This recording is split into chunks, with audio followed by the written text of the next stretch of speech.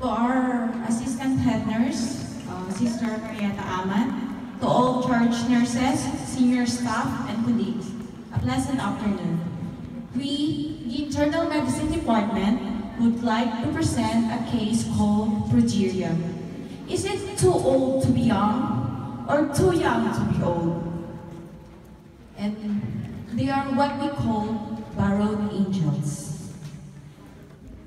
The members are, or the presenters, for the introduction, Ms. Fritzy Elman, for the anatomy and physiology, Ms. Lin Tagalogon, for the signs and symptoms, Ms. Angeline Membrere, for the diagnostic procedure, Ms. Caroline Kaliwan, for the nursing management, Catherine Villaverde, and for the procedure, um, Mona Rose de la Cruz. Supervised by Ms. Rachel Atotubo, Ms. Naarni Ibea, Ms. Julieta Gloria, and Ms. Mi Angelisma.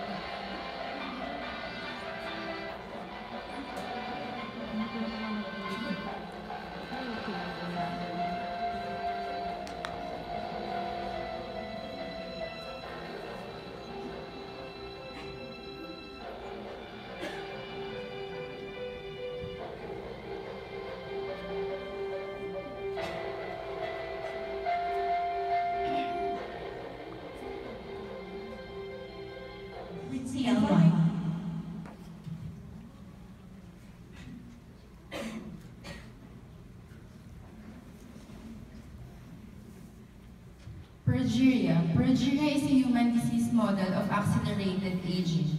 It is a rare yet least known genetic disorder that was discovered in 1886 by Hutchinson and Gilford in England.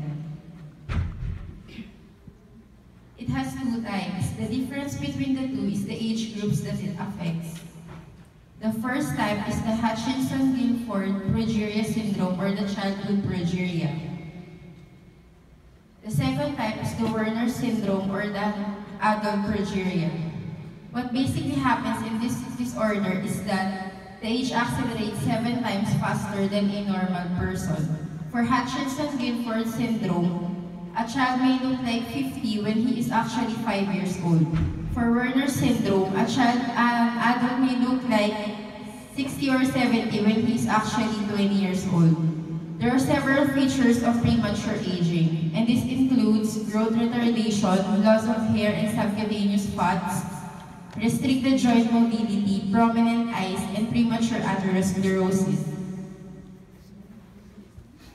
For the history, Jonathan Hutchinson discovered a first case of a three-year-old boy with an appearance of an old man.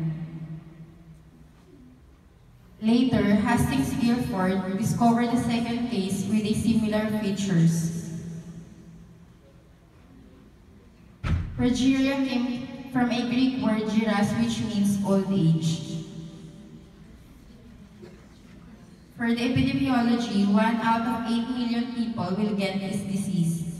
For every one year that a child lives with progeria, it is equivalent of what 10 years living for a normal person.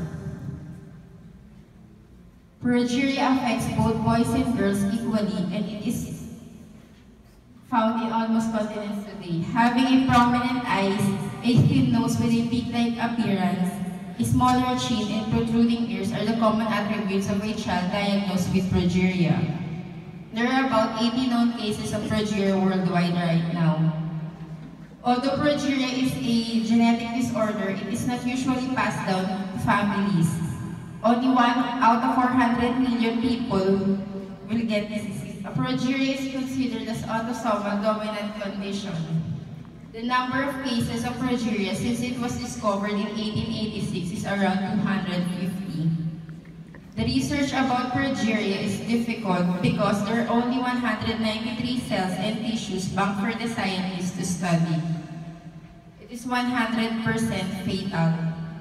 Because of the rarity of the disease, progeria did not even begin since 1990s. A genetic test for Hutchinson progeria is currently available. Researchers examined over 600 centenarians or people who are at least 100 years old to see if there's something in their genes that can promote life longevity.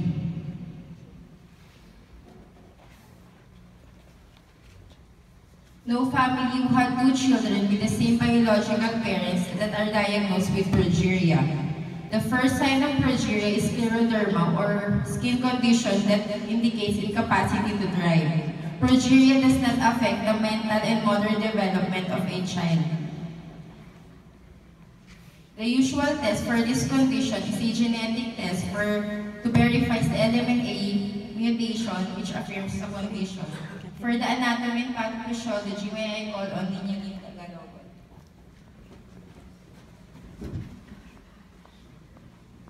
For the anatomy,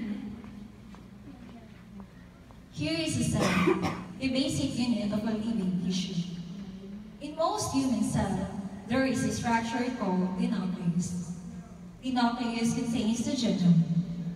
In humans, the genome is split between 23 pairs of chromosomes. Each chromosome contains a long strand of DNA tightly packaged around protein called histones. Within the DNA, all sections called genes. These genes contains instruction for making proteins. When a gene is switched on, an enzyme called RNA polymerase attaches to the start of the gene. It moves along the DNA, making a strand of messenger RNA out of three bases in the nucleus. The DNA code determines the order in which the three bases are added to the messenger RNA. This process is called transcription.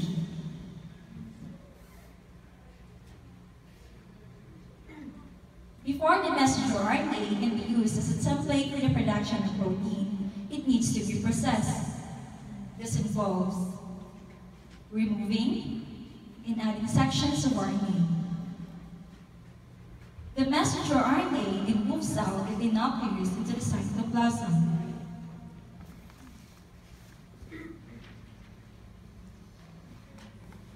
Protein factories in the cytoplasm called ribosome binds to the messenger RNA.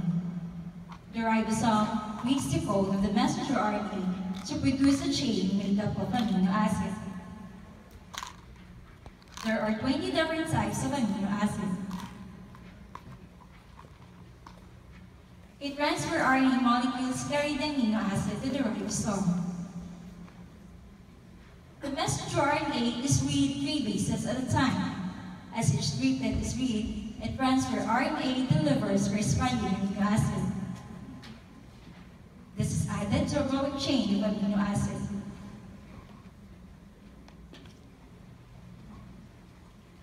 Once the last amino acid has been added, the chain folds into a complex 3D shape to form your protein.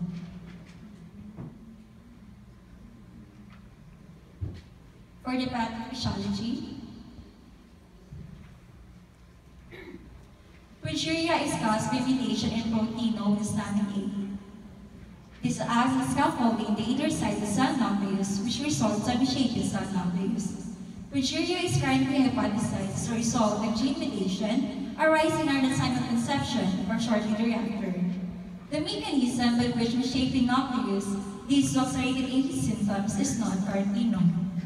Progeria is due to a single letter misspelling in the gene and chromosome 1 that codes for lamin A, a protein that a protein that is a key component in the membrane surrounding the cell's nucleus.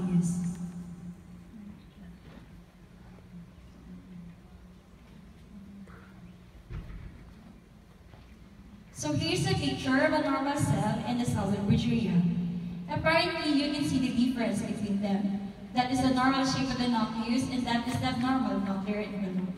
So these are the steps happening in the normal cell. The gene lamin A encodes a protein called prelamin A. Prelamin A is a farnesyl group attached to its end. Farnesyl group is removed from prelamin A. Normal form is called prelamin A. Prelamin A is then anchored to the nuclear ring and it leads to normal shape of the nucleus. While in cell with the gene lamin A encodes a protein called prelamin A. Prelamin A is a farnesyl group attached to its end. Farnesyl group remains attached to the, to the prelamin A. Abnormally, abnormal form of prelamin A is called progerin. Progerin is anchored to the nuclear ring and it results into a normal shaped nucleus. So there is imitation happening.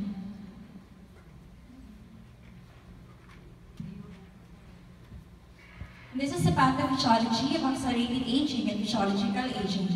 Hutchinson's view for progeria syndrome, due to high level of progerin accumulation, this will lead to nuclear structural abnormalities, delayed cytokinesis, clustering of nuclear pores, loss of peripheral chromatin, impaired mitosis and cycle progression, ROS increase, dysregulated mitochondrial function, dysregulated autosomal activity, DNA damage and genome stability, and senescence.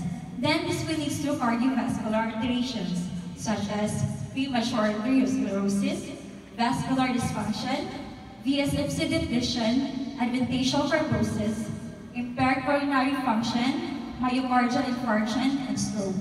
For the physiological aging, due to low level of prelamin accumulation, this will lead to nuclear structural abnormalities, thickening of nuclear lamina, ah? clustering of nuclear, nuclear pores, loss of peripheral chromatin, impaired mitosis, oxidative damage, testable modifications, DNA damage and general stability, and cell senescence.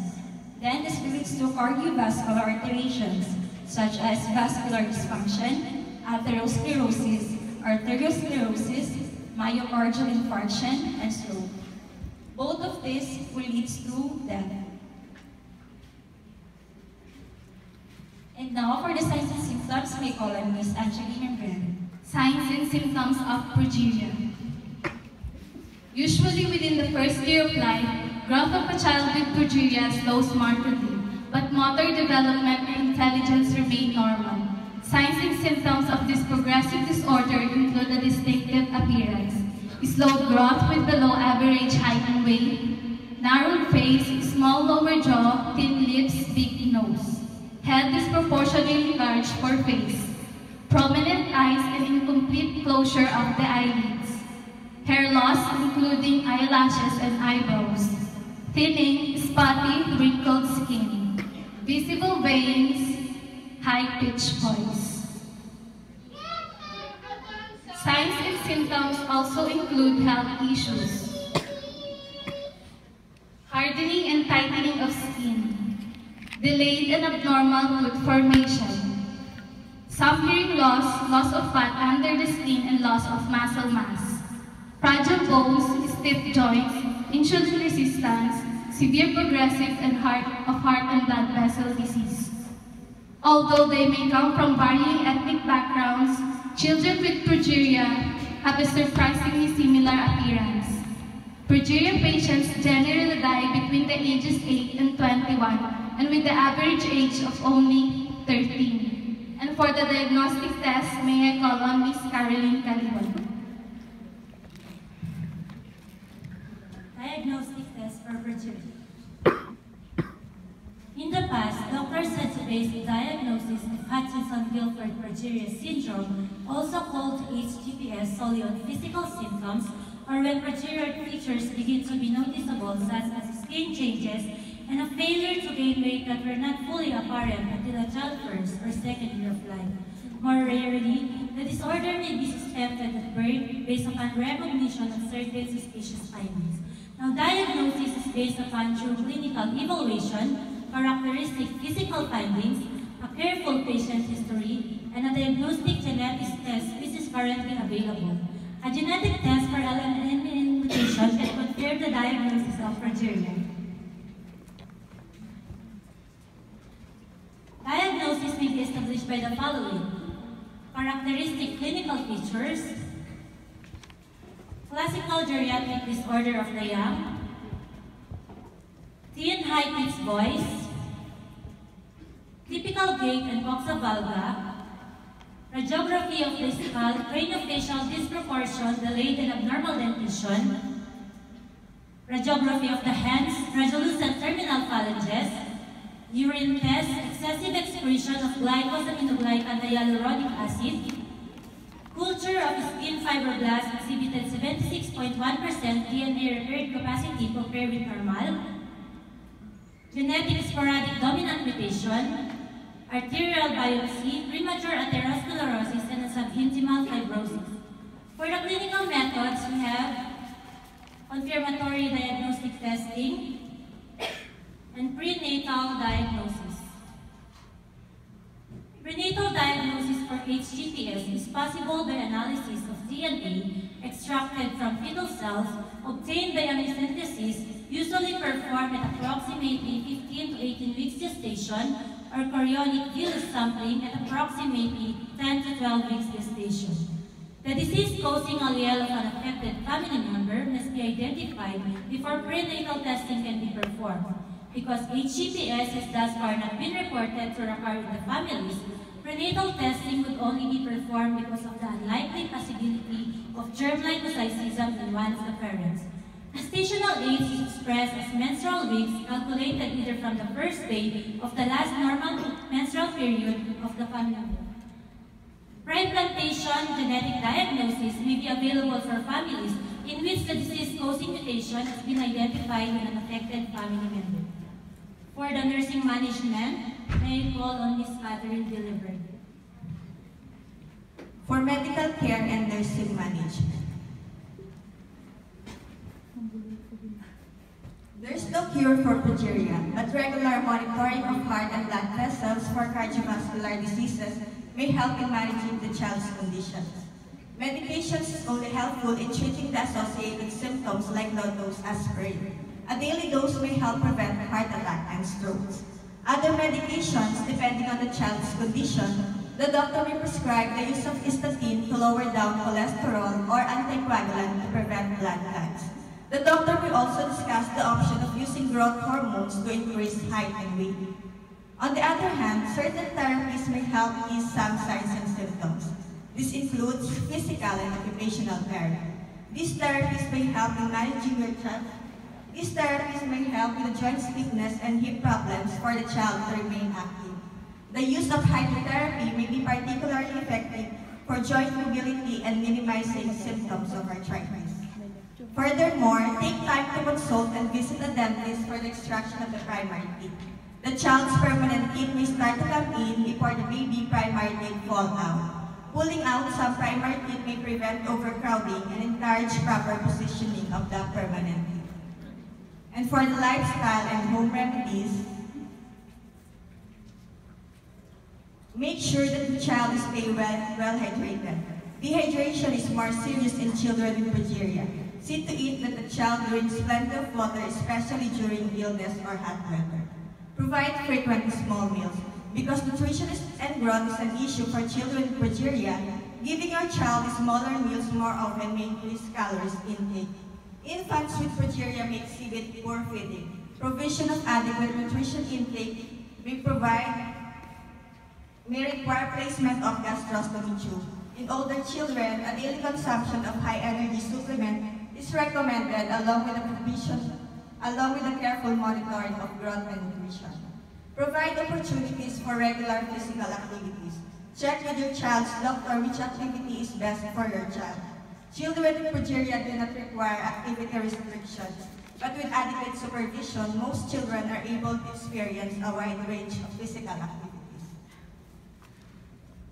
Get cushion shoes or shoe inserts for your child because the loss of body fats in feet may cause discomfort. The use of sunscreen is also advised. Use a broad spectrum SP with at least SPF 15. Apply generously on skin and reapply more often if the child is swimming or perspiring. Make sure that the child is up to date on childhood immunization. Children with progeria isn't at increased risk for infections, but like most children is at risk if exposed to infectious diseases. Provide learning opportunities. Progeria won't affect our child's intellect, so he she can attend school and age appropriate.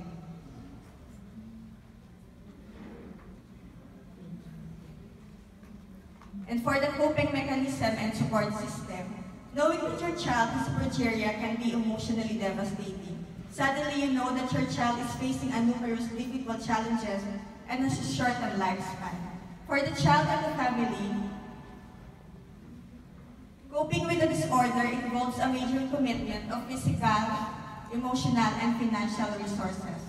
Support groups can be a valuable part in coping mechanism.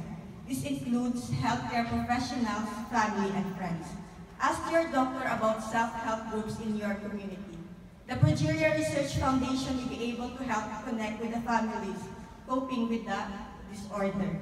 And that's the end of our presentation, Progeria. May I call on Ms. Mona Rose de la Cruz for the procedure.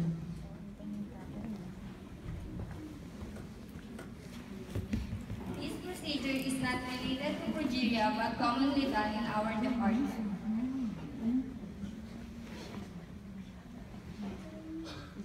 The urea breath test is test for diagnosing presence of a bacterium Helicobacter pylori in the stomach. H. pylori causes inflammation, ulcers, and atrophy in the stomach. The case may also be used to demonstrate that H. pylori has been eliminated by treatment with antibiotics. Basis of this test. The urea breath test is the ability to break down H. pylori, a chemical made up of nitrogen and carbon, into carbon dioxide which then is absorbed from the stomach and eliminated in the breath.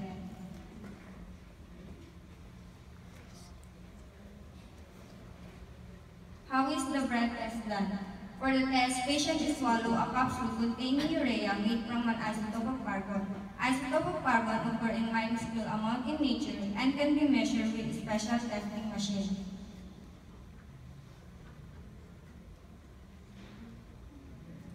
H. pylori is present in the stomach, the urea is broken up and turned into carbon dioxide. The carbon dioxide is absorbed across the lining of the stomach and up into the blood.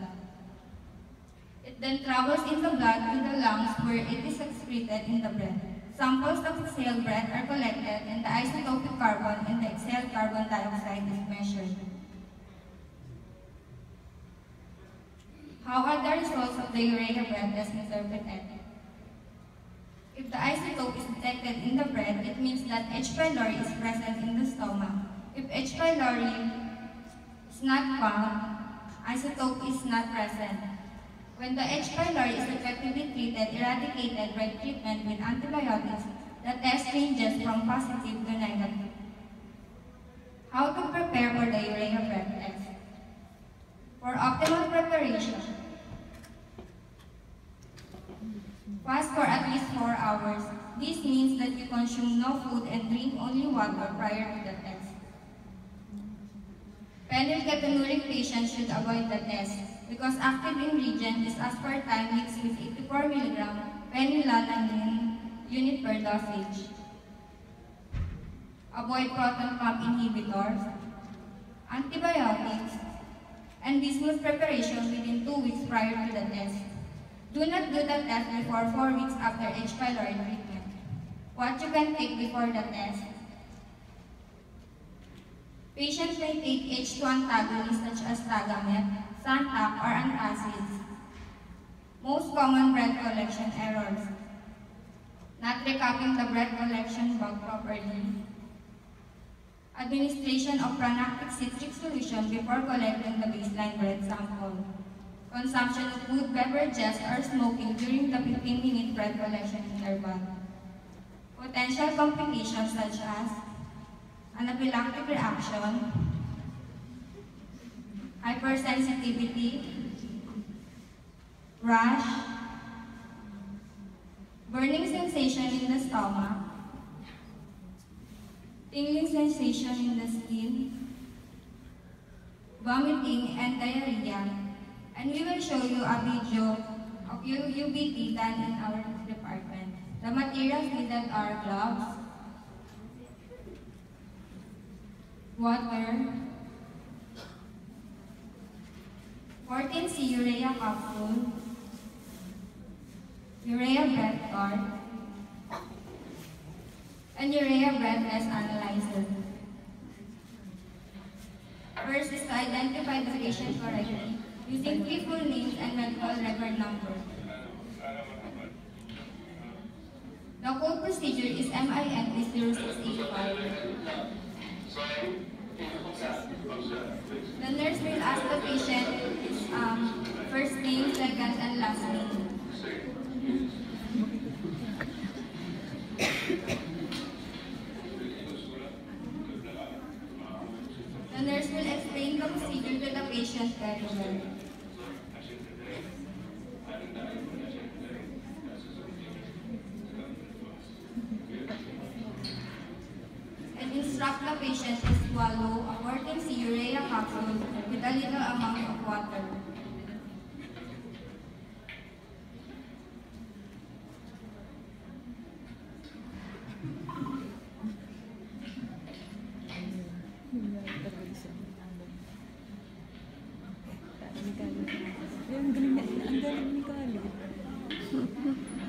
Instruct patient to wait for 10 minutes. And do the proper hand washing prior to the procedure. Siya po.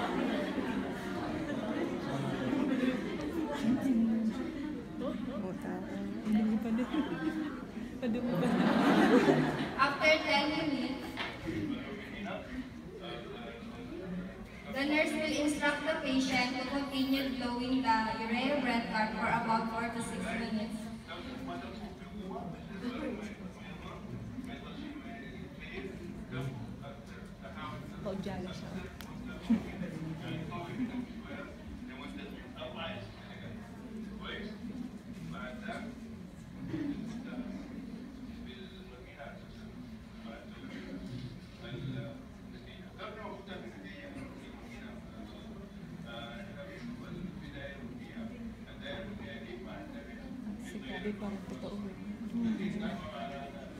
Siya ang pakita ko yung lazy.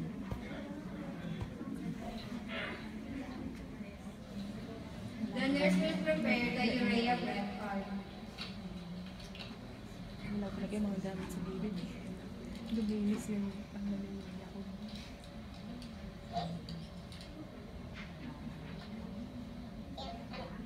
The patient will blow the urea breath card for 4 to 6 minutes. Si Khalid.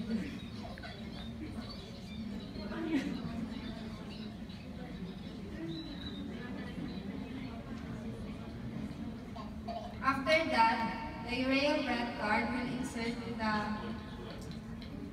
urea breath analyzer machine up to the red line.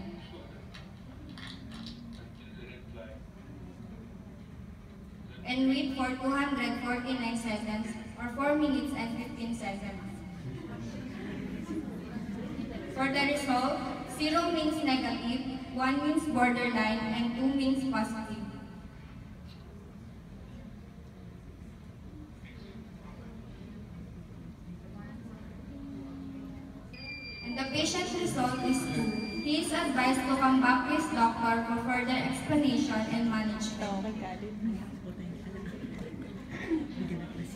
Okay siya kaysa kay Dizzy. And that ends our presentation. Thank you.